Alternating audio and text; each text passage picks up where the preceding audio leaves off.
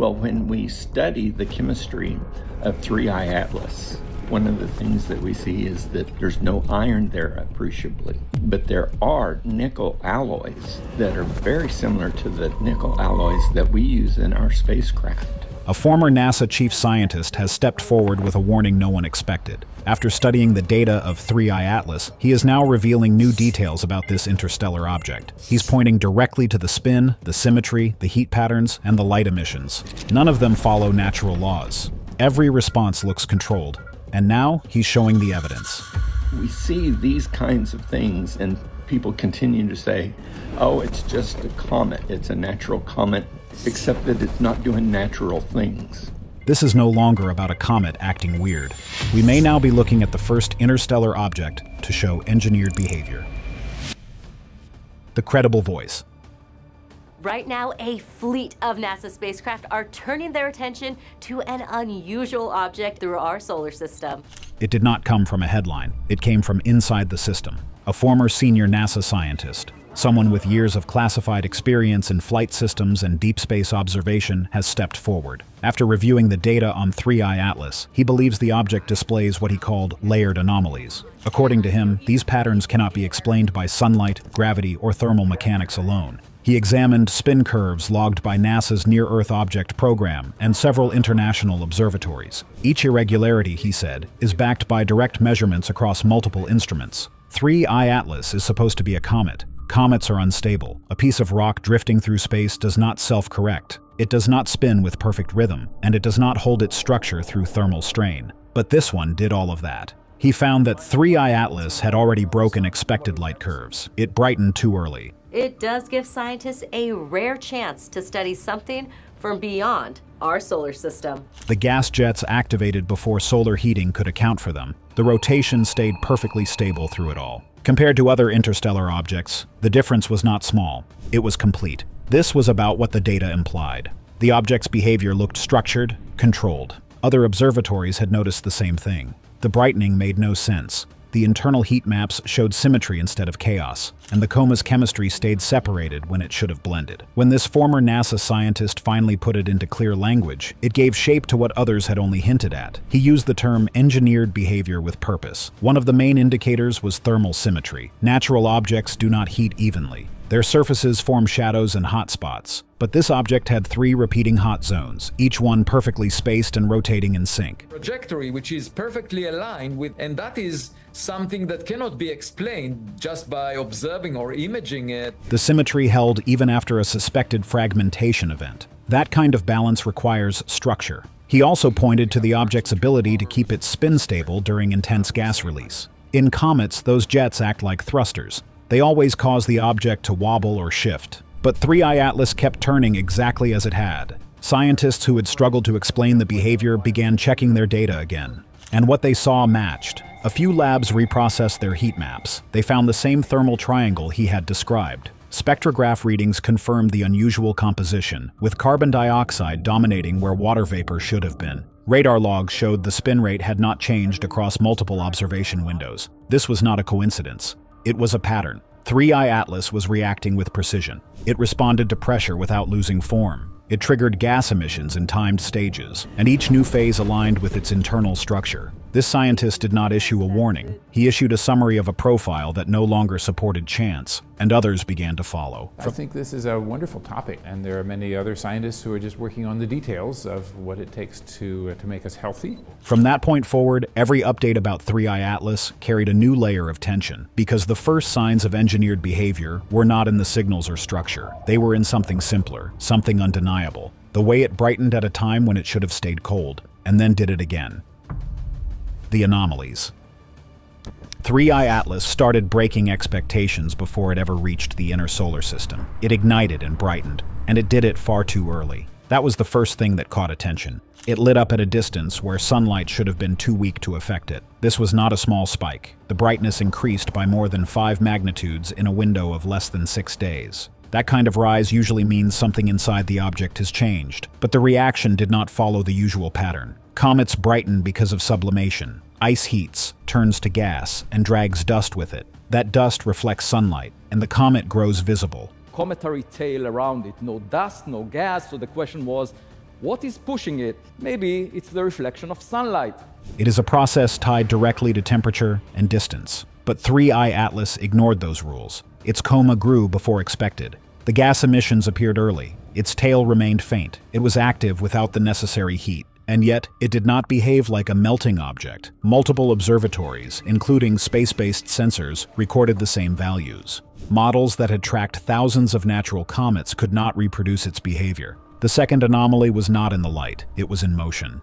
3. I-Atlas rotated with perfect rhythm. It followed a fixed cycle, one spin every few hours, repeating with almost zero deviation. Natural objects wobble and spin unevenly. They tumble, especially when outgassing begins. Jets of gas create tiny thrusts, knocking the body off balance. This is true for nearly every comet ever observed, including previous interstellar visitors. Even slight surface melting throws off momentum. But this object kept turning like a machine, just a consistent pattern, logged repeatedly over time. We would like to understand better what the size of this object could be, the composition, the levels of activity. Researchers tracking it through photometric light curves noticed the regularity. Peaks and valleys matched up every time. That is not normal, and it becomes even stranger when you factor in the active gas jets already visible during the rotation cycle. Normally, those bursts would disrupt the rhythm. 3i Atlas absorbed them. At this point, the theory of randomness no longer held up. Something was controlling the spin. If not through external force, then through internal mass distribution. The object's shape or interior must have been so balanced, so unified, that it could maintain rotational stability despite asymmetric outgassing forces. That behavior has never been documented in natural cometary bodies. One observatory described the object's rotation as mechanical in character. Another called it torque resistant and that was before the thermal data was released. Infrared mapping of 3i Atlas revealed another inconsistency. Instead of scattered hotspots, which is what sunlight typically creates, the object had three warm zones positioned at precise intervals around its core. The distribution did not shift with spin. It remained constant, showing internal regulation or structural reinforcement. And this thermal stability came during periods of active gas release. Its movement should be governed by the laws of physics, and physics says that passing by the sun would have slowed it down. That brings us to the third anomaly, the coma expansion. As the brightness grew, the coma, the cloud surrounding the nucleus, did not behave randomly.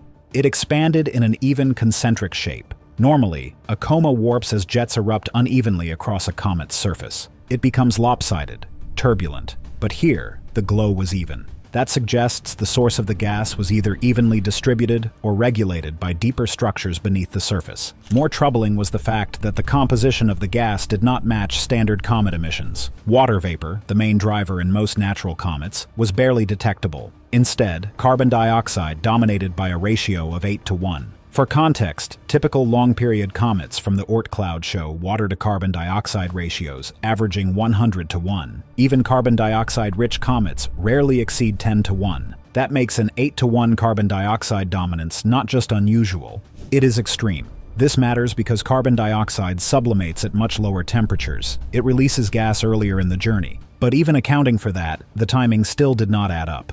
The object emitted large amounts of gas before reaching a temperature threshold that would trigger such release. So, what did that leave? A few theories emerged. The first suggested a shallow layer of carbon dioxide trapped just beneath the surface, but that would have been spent quickly. The emissions continued for days. Others proposed chemical reactions within the core, but there was no supporting evidence for spontaneous reactions at those cold temperatures. More like the number of functions on a real uh-huh. manifold, and it's much larger than the, uh, than the number of points in the manifold. What remained was the simplest explanation with the most uncomfortable implications. The object was reacting in stages. The brightness, the jets, and the coma all changed with timing that looked structured. That pattern held even after a suspected fragmentation event. Normally, when comets break up, their structure collapses. But 3i Atlas experienced a distortion in brightness and then restabilized. Within a single day, its rotation returned to normal and the emissions continued. Every simulation using traditional models failed to replicate it, but its gas jets further prove how much of an anomaly 3i Atlas really is. When you see how they fired, where they came from, and what pattern they followed, it becomes harder to keep calling this object natural. Signals that shouldn't exist. 3i Atlas was already setting off alarms. But what happened next pushed it into a category no scientist was ready to face. It started with a signal, a repeated soft spike in infrared brightness that matched the object's rotation exactly. Every time it spun once, the pattern returned, over and over again. Infrared telescopes around the world noticed it. Different detectors, different weather conditions, different observation angles, and yet the signal remained identical. Each warm pulse hit the same spot in the rotation cycle. When overlaid with the rotational map, the heat signatures matched up with three distinct zones on the surface. Multiple independent observatories using different infrared instruments confirmed this correlation, ruling out instrumental error or localized atmospheric interference. And that's when the problem got worse. This is the trajectory right here.